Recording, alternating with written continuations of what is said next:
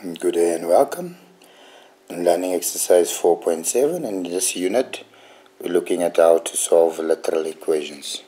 Consider transitional and very important if you are doing maths, physics, uh, geography and so on you have to learn how to work with equations and manipulate them. So a literal equation an equation where we use letters as coefficients and or constant terms. So look here right through the whole equation we have letters. The coefficient of x is a a my constant term here is q. So question one solve for x meaning we have to make x the subject of the formula.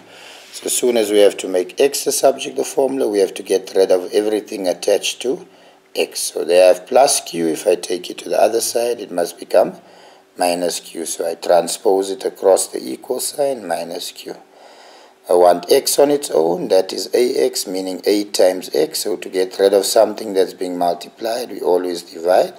So ax divided by a becomes x. What I do one side, I have to do on the other side.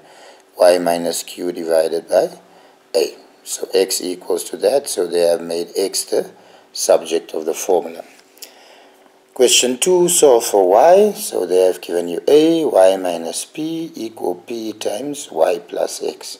So first we are required to use the distributive law and multiply out because I have y on both sides. So they have ay, a times negative p becomes negative ap. p times y becomes py, p times x becomes px. Right? Now I want y. Remember it says solve for y, so I'm going to group all my y's together.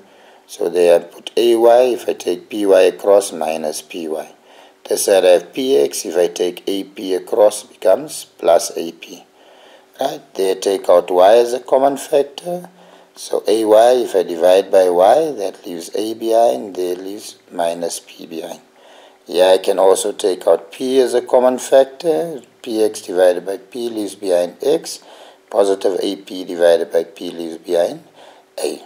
I want y on its own, so this means y times that bracket. So to get rid of this bracket, I need to divide.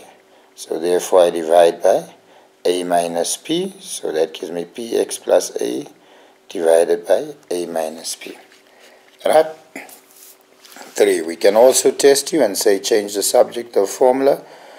In this case to the letter on the right. So you see on the right here I have a letter I want v equal to.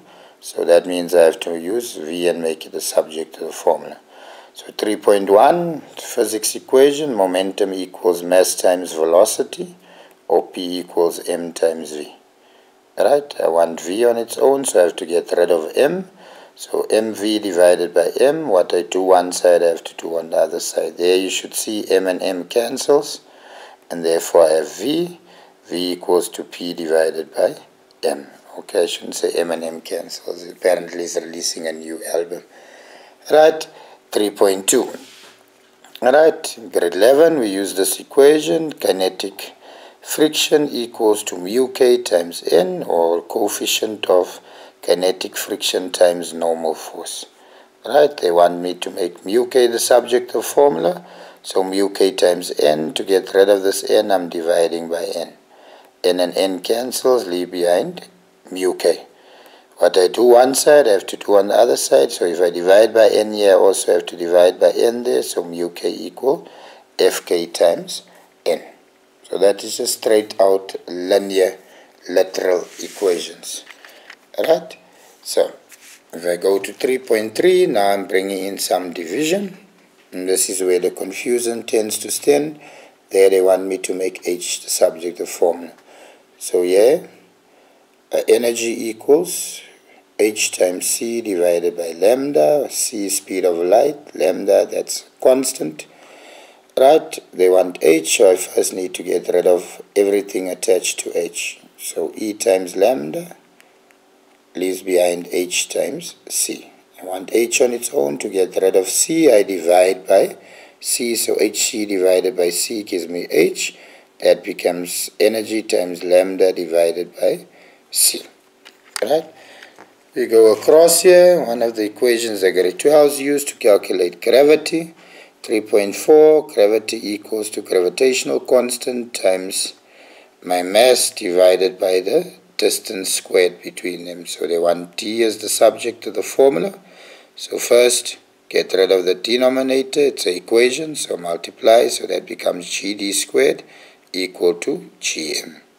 Right, now on d on its own, so first get rid of g, so therefore becomes gm divided by g, and I'm left with d squared.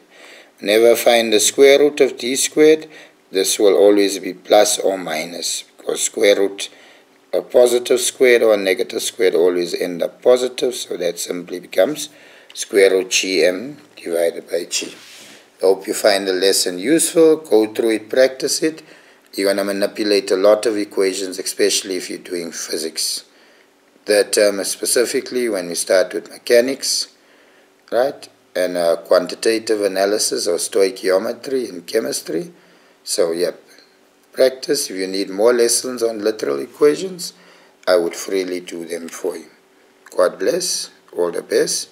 Success is around the corner. Never give up. Right? Bye.